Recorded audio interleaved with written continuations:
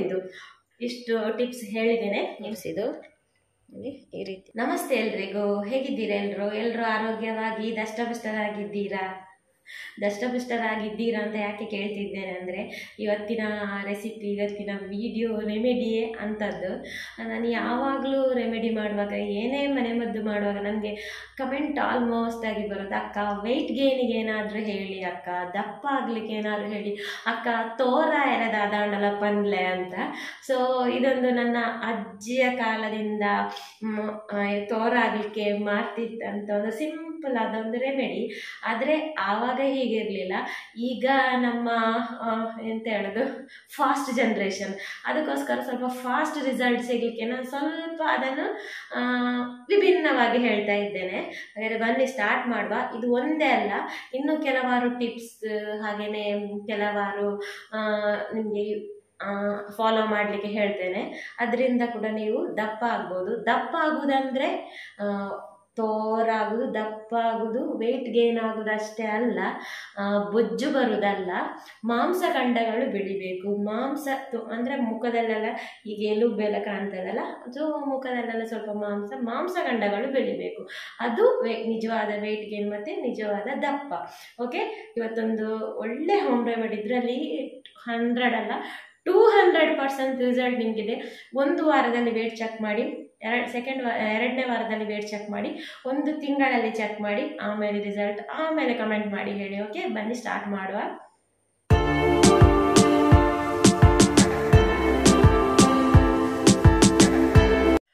ಇಲ್ಲಿ ಇದು ಕಡಲೆ, ನಾವು ಪದಾರ್ಥ ಮಾಡ್ತೇವಲ್ಲ ಕೆಂಪು ಕಡಲೆ, ಅಂಥದ್ದು ಕಡಲೆ ನಾನು ಇದನ್ನು ನೆನೆ ಹಾಕಿದ್ದೇನೆ. ನೀವು ಇದನ್ನು ರಾತ್ರಿ ನೆನೆ ಹಾಕಬೇಕು ಈ ಕಡಲೆಯನ್ನು. ಈಗ ನಾನು ನೆನೆ ಹಾಕಿ ಅದರ ನೀರು ತೆಗೆದು ತಂದಿದ್ದೇನೆ.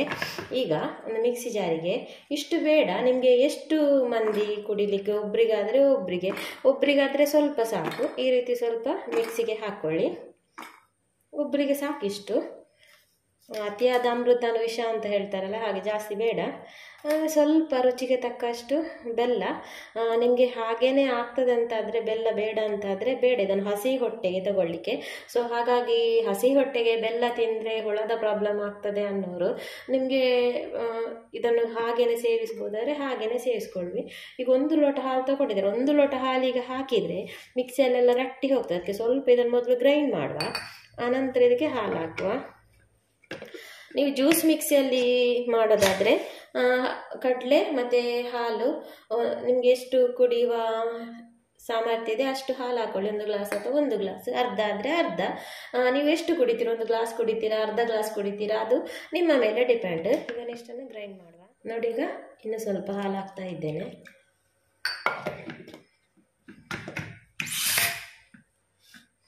ಈಗ ನೋಡಿ ಗ್ರೈಂಡ್ ಮಾಡಿ ತಂದೆ.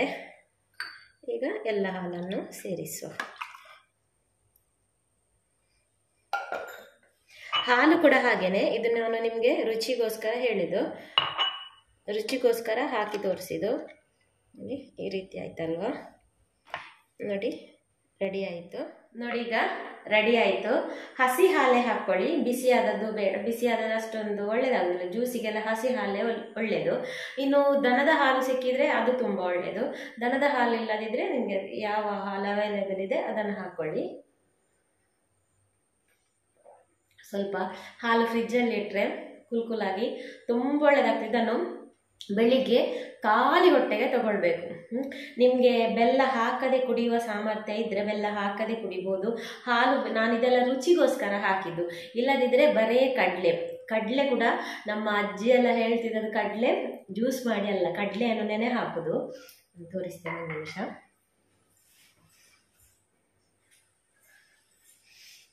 ನೋಡಿ ಕಡಲೆನೀಗ ನೆನೆ ಹಾಕಿದ್ದೇವಲ್ಲ, ಈ ರೀತಿ ಕಡಲೆಯನ್ನು ನಿಮಗೆ ಸಾಮರ್ಥ್ಯ ಇದ್ದರೆ ಹೀಗೇನೆ ತಿನ್ನೋದು. ಒಂದು ಹತ್ತು ಹತ್ತು ಐದಾರು, ಹತ್ತು ತಿಂದರೆ ಸಾಕು ದಿನಕ್ಕೆ. ಆದರೆ ಇದರಲ್ಲಿ ಸ್ಲೋಲಿ ಸ್ವಲ್ಪ. ನಾನು ಸ್ವಲ್ಪ ನಿಮಗೆ ಫಾಸ್ಟ್ ಆಗಲಿಕ್ಕೆ ನೀವು ಇದರಲ್ಲಿ ಅದೇ ಹಸಿ ಕಡಲೆ ಯಾರಿಗೆ ಒಳ್ಳೆಯದಾಗ್ತದೆ ಅಲ್ವಾ? ತಿನ್ಬೋದು, ಬೆಳಿಗ್ಗೆ ಖಾಲಿ ಹೊಟ್ಟೆ, ನೀವು ಸಲಾಡ್ ಥರ ಮಾಡಿ ಅದಕ್ಕೆ ಹಾಕಿ ಎಲ್ಲ ತಿನ್ಬೋದು ಸ್ವಲ್ಪ ಕೊತ್ತಂಬರಿ ಸೊಪ್ಪೆಲ್ಲ ಹೀಗೆ ತಿನ್ನುವ ಸಾಮರ್ಥ್ಯ ಇದ್ದರೆ ಹೀಗೆ ಕೂಡ ತಿನ್ಬೋದು. ನಾನು ನಿಮಗೆ ಸ್ವಲ್ಪ ಬೇಗ ರಿಸಲ್ಟಿಗೆ ಹಾಗೆಯೇ ಸ್ವಲ್ಪ ಟೇಸ್ಟಿಯಾಗಿ ಮಾಡಲಿಕ್ಕೋಸ್ಕರ ಈ ರೀತಿ ಮಾಡಿ ತೋರಿಸಿದ್ದು. ನಿಮಗೆ ಕುಡಿಯುವ ಸಾಮರ್ಥ್ಯ ಹೇಗೆ ಉಂಟು ಹಾಗೆ ಮಾಡ್ಕೊಳ್ಳಿ. ಒಟ್ಟಾರೆ ನಮಗೆ ಇಲ್ಲಿ ಮೇಯ್ನು ನೆನೆ ಹಾಕಿದ ಕಡಲೆ. ಕಡಲೆ ನೋಡಿ ಹೇಗೆ ದುಂಡಗಾಗಿದೆ. ಹಾಗೆಯೇ ನೀವು ಕೂಡ ದುಂಡಗಾಗಿ ಹಾಕ್ತೀರಾ. ಇನ್ನೊಂದು ಕಡಲೆ ಬೇಡ ಅನ್ನೋರು ಮೆಂತೆ ಉಂಟಲ್ವಾ? ಮೆಂತೆ.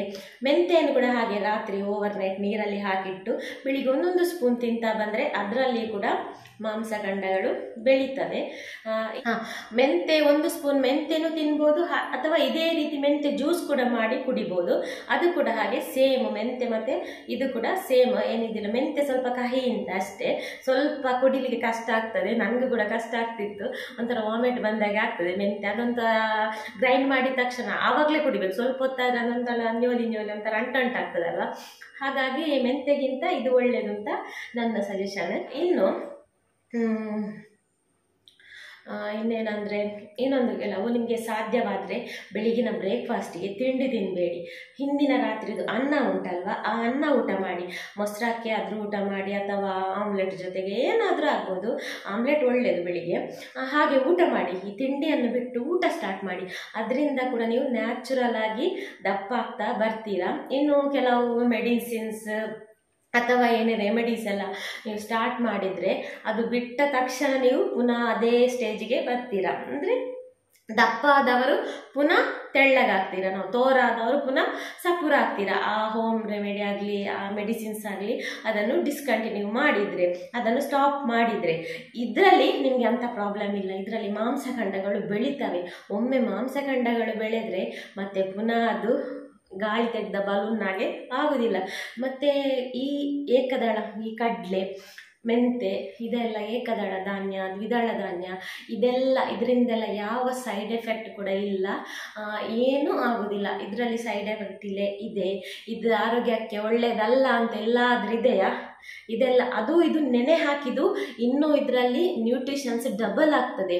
ಅಂದರೆ ಇದರಲ್ಲಿ ಇನ್ನೊಂದು ಜನ್ಮ ತಾಳ್ಲಿಕ್ಕೆ ಆಗ್ತದೆ. ನೆನೆ ಹಾಕಿದಾಗ ಏನಾಗ್ತದೆ? ಮೊಳಕೆ ಬಂದು ಇನ್ನೊಂದು ಗಿಡ ಆಗಲಿಕ್ಕೆ ರೆಡಿ ಆಗ್ತದೆ. ಆವಾಗ ಇದರ ನ್ಯೂಟ್ರಿಷನ್ಸ್ ಡಬಲ್ ಆಗ್ತದೆ. ತುಂಬ ಒಳ್ಳೆಯದಿದು ಇನ್ನೊಂದು, ನಮ್ಮ ಮಂಗಳೂರು ಕಡೆ ಎಲ್ಲ ಕಟ್ಟದ ಕೋರಿ ಅಂತ ಹೇಳ್ತೇವೆ ಅಂದರೆ ಕೋಳಿ, ಕೋಳಿಯನ್ನು ಕಟ್ಟಕ್ಕೆ ಕೊಂಡೋಗೋದು ಅಂದರೆ ಕೋಳಿಯನ್ನು ಇದು ಮಾಡಿಸ್ತಾರೆ ಅಂತ ಅಂತ ಹಾಗೆ ಕನ್ನಡದಲ್ಲಿ ಏನು ಹೇಳುತ್ತೋ ಗೊತ್ತಿಲ್ಲ.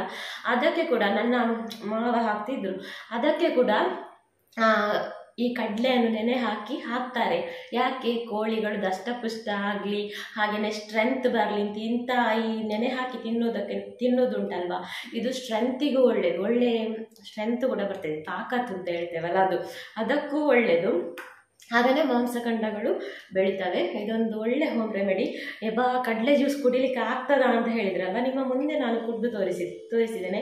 ಆಗ್ತದೆ. ನಾನು ನಿಮಗೆ ರುಚಿಗೋಸ್ಕರ ಇದಕ್ಕೆ ಬೆಲ್ಲ ಮತ್ತು ಹಾಲೆಲ್ಲ ಆ್ಯಡ್ ಮಾಡಿದ್ದಿಲ್ಲ ಆದರೆ ಬರೇ ಕಡಲೆ ತಿನ್ನಬೇಕು ಅಥವಾ ಕಡಲೆ ಜ್ಯೂಸ್ ಗ್ರೈಂಡ್ ಮಾಡಿ ಕುಡಿಬೇಕು. ಅದು ಕುಡಿದರೂ ಆಗ್ತದೆ. ನಿಮಗೆ ಸ್ವಲ್ಪ ಟೇಸ್ಟಿಗೆ ಹೀಗೆ ಮಾಡಿ ತೋರಿಸಿದ್ದೇನೆ. ಇನ್ನು ಇನ್ನು ನಿಮಗೆ ತೋರಾಗ್ಬೋದು. ಹೇಗೆ ಅಂದರೆ, ಮಧ್ಯಾಹ್ನ ಆಗಲಿ, ರಾತ್ರಿ ಆಗಲಿ, ಊಟ ಮಾಡಿದ ತಕ್ಷಣ ತುಂಬ ಸ್ವೀಟ್ ತಿನ್ನಿ. ಸ್ವೀಟ್ ಅದು ಆರೋಗ್ಯಕರ ಅಲ್ಲ ಒಳ್ಳೆಯದಲ್ಲ ಅದರಿಂದ ಬೊಜ್ಜು ಬರುತ್ತೆ. ಅದು ಬೊಜ್ಜು ಬಂದು ದಪ್ಪ ಆಗೋದು. ಮಾಂಸಖಂಡಗಳು ಬೆಳೆಯುವುದಲ್ಲ. ಸೊ ಅದು ಕೂಡ ದಪ್ಪ ಆಗ್ಬೋದು. ನಾನು ನಿಮಗೆ ದಪ್ಪ ಆಗಲಿಕ್ಕೆ ಹೇಳಿದೆ. ಬೇಗನೆ ದಪ್ಪ ಆಗಲಿಕ್ಕೆ. ಅದರಲ್ಲಿ ಕೂಡ ನೀವು ಬೇಗನೆ ದಪ್ಪ ಆಗ್ತೀರಾ? ಆದರೆ ಅದು ಬೊಜ್ಜು. ಮಾಂಸಖಂಡ ಬೆಳೆದು ಹೆಲ್ದಿಯಾಗಿ ವೆಯ್ಟ್ ಗೇನ್ ಆಗೋದು ಅಲ್ಲ.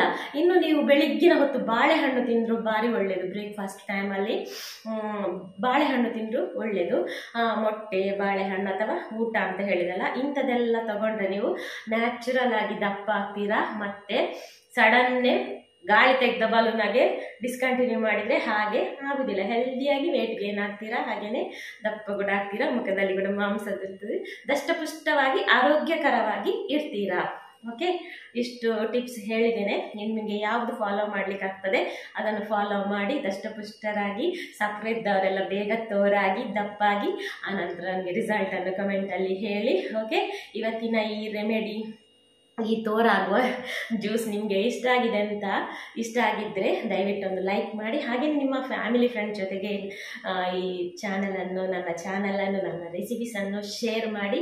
ಹೊಸಬರಾಗಿದ್ದರೆ ಪ್ಲೀಸ್ ಸಬ್ಸ್ಕ್ರೈಬ್ ಮಾಡಿ. ಸಿಗುವ ಮುಂದಿನ ರೆಮಿಡಿ ಅಥವಾ ರೆಸಿಪಿಯೊಂದಿಗೆ ಥ್ಯಾಂಕ್ ಯು